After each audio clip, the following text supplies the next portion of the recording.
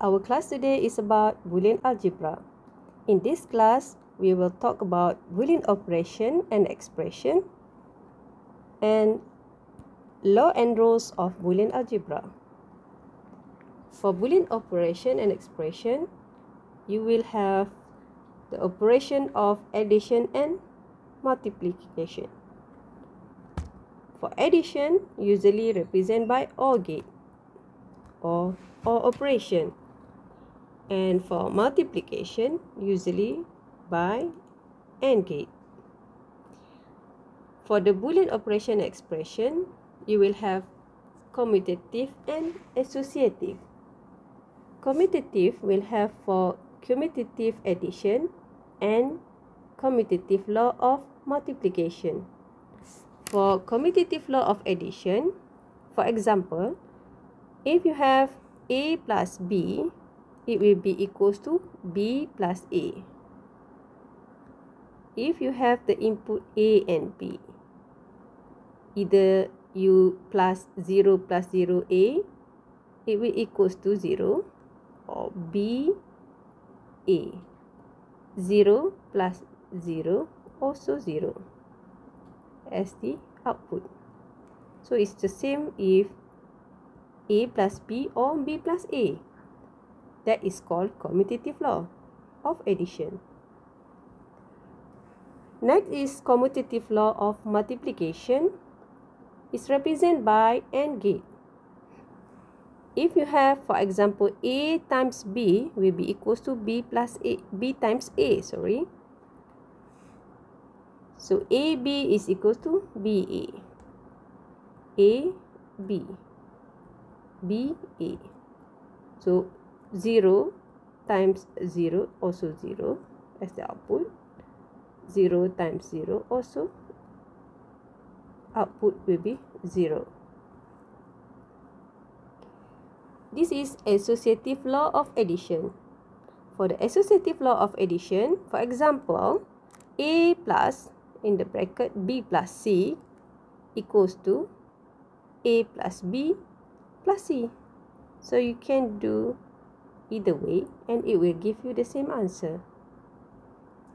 For the associative law of addition, sorry, associative law of multiplication, so you can do A times B times C will be equals to, if you times A times B first, then times C the output also will be the same. Next, we take a look for the rules of Boolean algebra.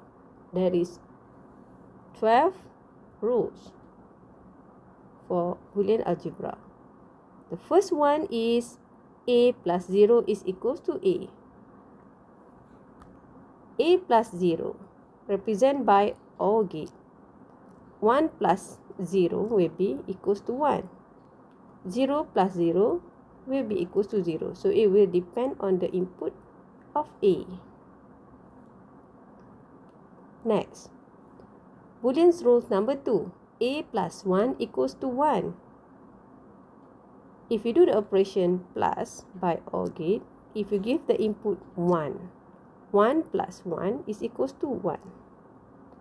0 plus 1 also equals to 1. So that's why A plus 1 equals to 1. Next is Boolean's rule number 3. A times 0 will be equals to 0. If you have the input A is 1, 1 times 0 will be 0. 0 times 0 is also 0. So either you give 1 or 0 for the A, it will be 0. So that's why A times 0 will be 0. Next is Boolean's rule number 4. A times 1 equals to A. Whatever you times 1, A, it will be depends on the value of A. For example, if you have A equals to 0, 0 times 1 will be 0. If A equals to 1, 1 times 1 equals to 1. So, depend on the value of A itself. Either A is 0 or 1. Next is Boolean rules number 5. A plus A equals to A.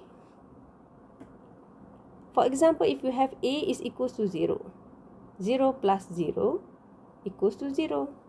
1 plus 1 equals to 1. So it depends on the value of A itself. See? Next, go to the Boolean rows number 6. A plus A bar equals to 1. A bar, if you give the input 1, it will invert the input to be, output will be 0. A plus A bar. For example, if A is 0, A bar will be 1. 0 plus 1 is 1. If A equals to 1, so bar will be 0. 1 plus 0 still equals to 1. So that's why A plus A bar equals to 1. Next, Boolean truth number 7. A times A is equals to A. Whatever you times A, is become to A. It depend on the input A. For example, if A is equal to 0, 0 times 0 is 0. Depend on A. A 0, the output 0. A equals to 1. A times 1 times, sorry, 1 times 1 is equals to 1. So it depend the input of 1A. Easy, right? Next, go to the Boolean rules number 8. A times A bar is equals to 0. For example, if you have A equals to 1, A bar will be 0. 1 times 0 will be 0. A equals to 0. A bar will be 1. 0 times 1 is still 0. That's why the output will be 0. The rules number 9. A double bar is equals to A. It's just like you have two inverter. You give the input 0, the inverter will invert the input become 1. 1 invert again become 0. That's why A double bar is equals to A. If you have the input 1, go to the inverter, it will be 0. And then 0, go to inverter, invert again become 1. So it will be A. Rules number 10. A plus AB. A plus AB is rules number 10 equals to A. How is become A?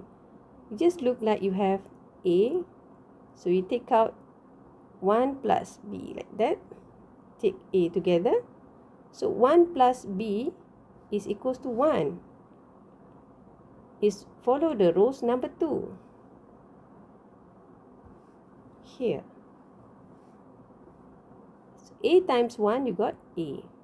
That's why A plus AB equals to A. Next is rules number 11. Rules number 11, A plus A bar B is equal to A plus B. So, is apply the rules number 10. For the rules number 10, for example, you have A plus AB plus AB. So A plus A, here, if you expand this, it's become A times A. And then you got AB plus AB bar. So this one, you expand again. A, A times A plus A times B So equals to this one is actually A A bar is, is 0.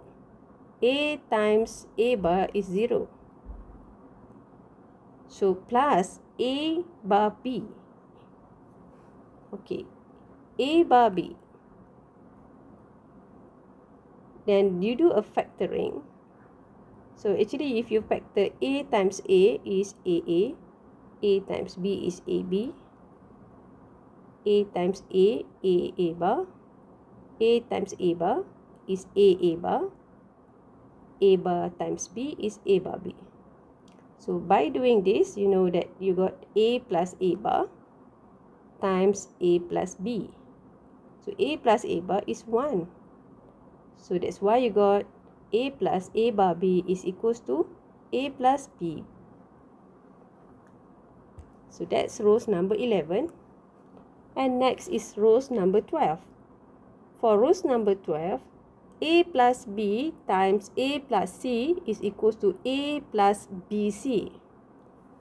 So if you do like this, A times A, so you got AA, A times C, you got AC, A times B, you got AB, B times C, you got BC. A times A is equals to A, so you got AC, AB, BC. So simplify this one, you got A times 1 plus C plus AB plus BC. 1 plus C is equals to 1. So it's become A times 1.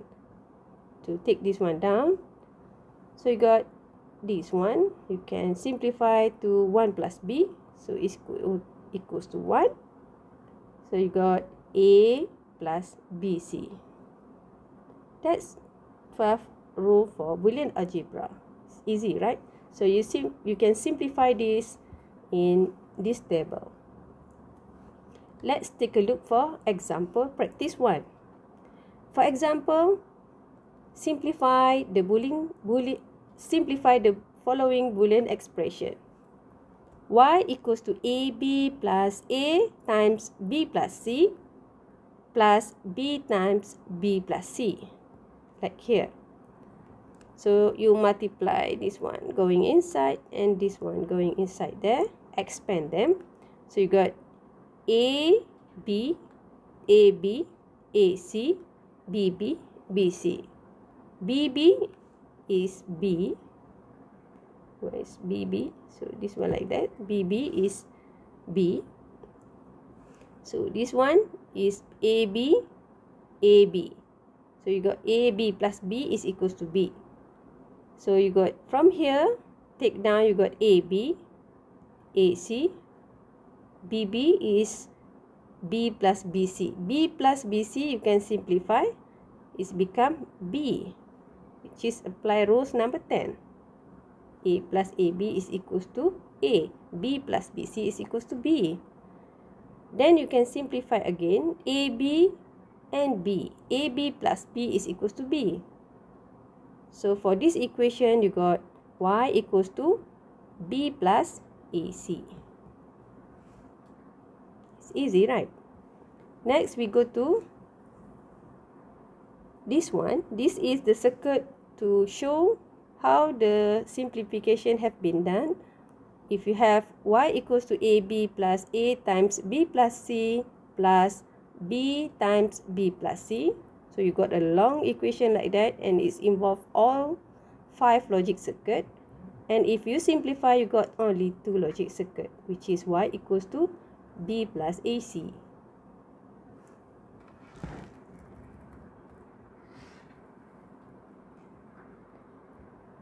Okay, next. For the example practice number two, you got a b bar times a c bar plus A bar, B bar, C. Can you do simplification for this? Okay. First is you need to apply De Morgan theorem. This De Morgan theorem, I will teach you later in the next chapter. But we can do practice first. For if using De Morgan theorem, so you can just break A plus B bar bar times A plus C bar bar plus A bar B bar C. So you got factor them A A bar plus A bar C bar plus A bar B bar plus B bar C bar plus A bar B bar C. A bar times A bar is equals to A. So you got A over here. A plus AC plus AB. So from here, you can simplify AB 1 plus C. For AB 1 plus C,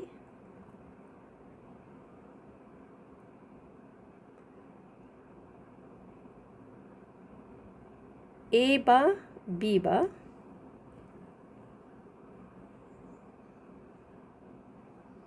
So you can simplify this with the this one. You got A bar, B bar, 1 plus C. Got B bar, C bar. So like that. So A bar plus A. Okay, like that. So this one is equals to 1. So you got A bar plus A bar C bar plus A bar B bar plus B bar C bar. Okay, from here, A plus AC. So you got A plus AC over here. So you got 1 plus C bar. Okay, 1 plus C bar. So you got 1 which is A plus A bar B bar plus B bar C bar.